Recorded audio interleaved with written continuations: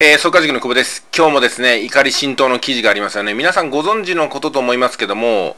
個人事業主とかね、法人の方に、このコロナ騒ぎでですね、売り上げが下がったところに対する、まあ、補助金、いわゆる持続化給付金ですよね。こちらの方はね、あの、企業に払われるのはまあいいんですけども、国民のためとかね、企業維持のためにですから。ただ、その、事業を担っている会社がね、なんとペーパーカンパニーで、そのトンネル法人に、えー、この委託を769円で、えー、国の方が発注してるわけなんですよ。で、そのトンネル会社がね、何をしてるかっていうと、ただ単に電通にその仕事を流してるだけで、中抜き20億円してるというね、このペーパーマージン20億円を、この火事場泥棒的に、まあ、搾取しているというね、本当にね、困ったもんですよね。もうそういうトンネル会社があるんだったら、私を入れてくれって話なんですよ。私が入ってないから怒ってるわけなんですよ。っていうのがまあ本音なんですけども、ここ見てください、この、えー、中小個人事業主向けの持続化給付金の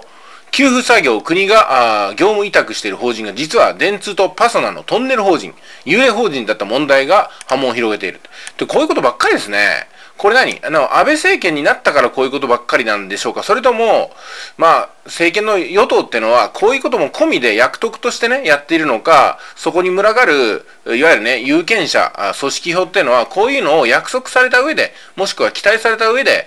えー、票を投じてるのかなと思っちゃいますよね。で、1件あたりの手数料は4から5万円になるってことなんで、まあね、私も恥ずかしながら あの、給付金をね、何社かで、えー、いただいているんですけども、そうなると、ここのね、手続きに関わった方に4万から5万円入ってるということなのか。うーん、でもちょっと複雑なものがありますね、そうなったらね。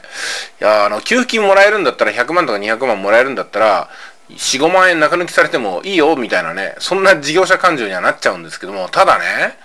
うん、なんか割り切れないもんがあるなということですよ。今ちょっとね、本音も言いましたけども、ただね、やっぱこう、この20億円の作業、いらないですか？いらないんじゃないですかって話ですよね。で、今回のこのスクープをぶち抜いたのもご存知、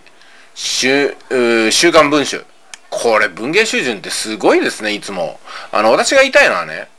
この記事、まさに週刊文春がこういうふうなスキャンダルをどんどんどんどんぶち上げてくれますけども、まあ単なるね、雑誌社ですよ、ここは。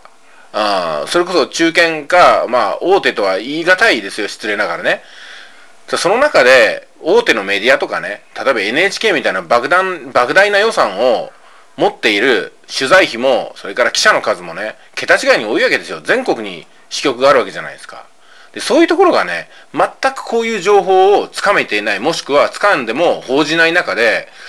本当よくね、週刊文春、国民のために頑張ってくれてるなと思いますよ。たまにね、あの、オーバーランして、やりすぎちゃう突撃記事もあって、訴訟とか起こされてますけども、でもね、やっぱり、記者魂ってのはそのぐらいなんだなと思うんですよ。そういうことを国民は期待してるんだと思うんですよね。あの、いわゆるスクープってのに、ある程度のミスとか、ああとね、あまあ、報道ミスを許すわけじゃないですけども、ただ、あやっぱ危ない情報ってのは、そういうふうなのも込みだと思うんですよ。確実に100%そうだよってものしか放送しなくなると、その疑惑から真実にたどり着くためのルートがなくなっちゃうんですよね。まずは雑誌社とか、それからメディアとかっていうのは、疑惑があるってことを報じて、その中でこれを深掘りしてくれみたいなものに対して国民が、例えば雑誌を買ったりとか、視聴率ってもので反映させて、今だったらツイッターとかでね、これもっと切り込んでほしいよみたいな、あ国民感情を表現することによって、さらに、雑誌社とかね、えー、まあテレビメディアとかが、深掘りしていくっていう形だと思うんですよ。で、今回のサービスデザイン推進協議会っていう、このトンネル会社ね、このね、なんか、なんかあれ、マスクの時もありましたよね。ユースビオとかなんか、ああいうふうなことをね、まあ、まさにね、まさにっていうと安倍総理みたいですけども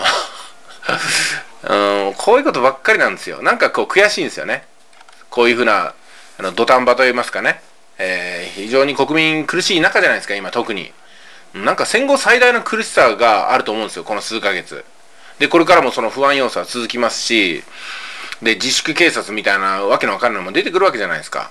うん、あちなみに東京の方ではパチンコ屋がどんどんどんどんオープンしてるみたいですよね。まだステージ3に行ってないのに、もう小池さんのいいことをもう信用しない人も出てきたという、そんな感じですけども、これもね、やっぱり国の仕切りが悪くって、えー、政治とか行政が信頼されてないっていう現象だと思うんですよ。この根っこにあるのはやっぱり安倍さんの、もしくは官邸のですね、まあ、無理やり人事だったりとか、それから黒川さんのね、あの、無罪方面だったりとかね、うん、でもそういうことだと思うんですよ。なんか文章を隠したりとか改ざんしたりとか。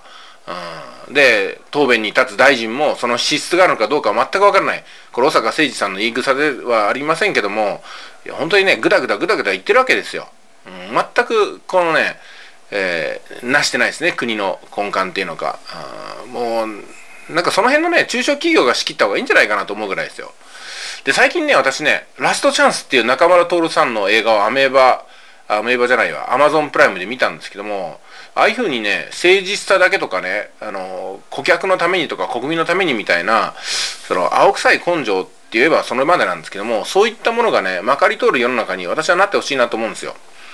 まあ、ある程度のね、清濁合わせ飲むみたいな便利な言葉があるから、あの国の祭りごとをね司る人間には悪いことをする度量もいるんだみたいなんで正当化されちゃう部分がありますけども確かに100%正義にはならないと思いますけども、うん、これはねあの小坂誠二さんから今度小川淳也さんの言葉ではないですけどもその建前と本音の間で本当もがき苦しんで格闘している姿それが政治なんだと思うんですよ。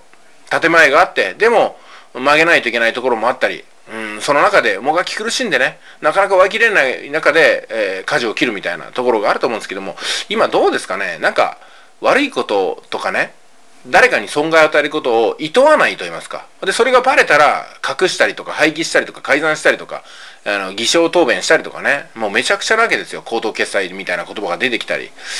やー、なんとかしてくんないかなという思いで、えー、今回の記事取り上げましたけども、ただね、この769億円っていうと、うん、金額がバカでかすぎてもう何のことか分かんなくなりますよね。きっと私たちが一生かけて稼ぐお金っていうのはこのね、数百分の1ですよ。うん、で、稼いだお金のうちの半分ぐらいは税金で持ってかれるわけですよ、どうやっても。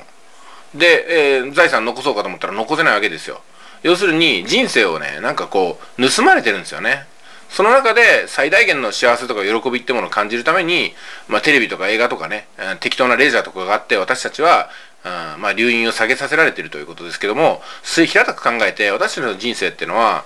あの、もうちょっと価値のあるものになってるはずなんですよね。うん、なんかその割り切れない思いの一部が今回のこの持続化給付金の、ここまでやるかみたいな感じですよね。こんな持続化給付金みたいな、助けますよっつっといてね、一番美味しい思いしてるのは、あ汗をかかないで、ペーパーマージン得てる人みたいなところになんか憤りを感じちゃって今回の動画になりました。はい、以上でございます。